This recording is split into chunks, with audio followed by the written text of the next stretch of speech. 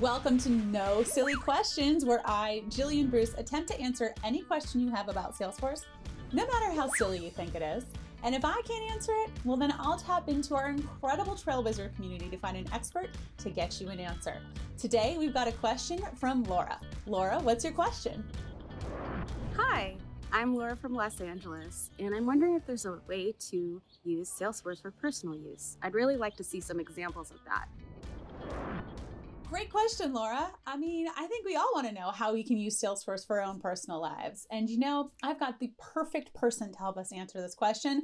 The one, the only one of my favorite people in the world, admin evangelist Mike Gerholdt. Mike, can you help answer Laura's question? That's a great question, Laura. In addition to learning about Salesforce, I'm also a huge car nerd. So I created an app to help me manage the show Top Gear that I'm binge watching. In fact, let me give you a demo. Okay, so I'm going to start logged into the homepage of my dev org that you can see I've customized for my own personal use because I wanted to track the episodes and show that I watch of Top Gear. So I've customized the homepage. Here you can see I've got the Top Gear branding. Of course, I changed my profile picture to the Stig, and I've included a YouTube video right at the beginning. So if as the I want to watch the intro to the show again, I can do that right from the homepage, which I think is super fun. Um, I created some custom objects. So my first custom object was a season because uh, I wanted to make sure that I was tracking all of the seasons. And master detail to that was episodes. So the reason it's master detail is an episode can only be part of one specific season.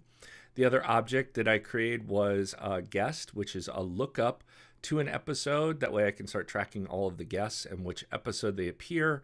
And then because I'm a car nerd, I also created a lookup object for cars so that I can track what cars they cover, um, what guests drive those cars. So let me just dive in here real quick to an episode. I'm going to go to uh, episode three of season four. You can see that I gave it four out of five stars. It originally aired on May 23rd, 2004. Just a simple checkbox to let me know that I watched it. Um, and if we, uh, if I add more in the related area here, we can see the guests that were on um, and the cars that they reviewed. I'll be honest, as I started building this app, let me just go into a season here. I actually got more interested in building the app than uh, binge watching some of Top Gear. But we've got, so this is the season. And if I click into a guest, we'll go down to Simon Cowell.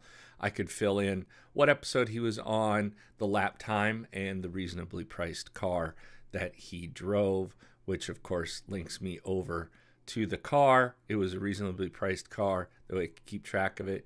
Had some fun. Um, also customize the home page, but that was the Top Gear app that I wanted to show you. So that's my app. But I've talked to a lot of community members, and some have created all kinds of apps, like Brian Kwong, who creates an app to manage diaper changes, and some apps to manage wedding planning. I even had a guest on the podcast, Nick Lindberg, who created an app to manage his race car. So, really, all kinds of personal apps. But the question I have for you is what will you create? Back to you, Gillian. Well, thank you, Mike, so much for giving us that answer. Laura, I hope that helps satisfy your question. I mean, there really are infinite possibilities for what you can do with Salesforce. So share with us what you build. And if you've got a question that you think might be a little silly about Salesforce, send them my way. You can find me on Twitter, on the Trailblazer community. I want to know what do you want to know about Salesforce? With that, I hope you have a great day and we'll catch you next time in the cloud.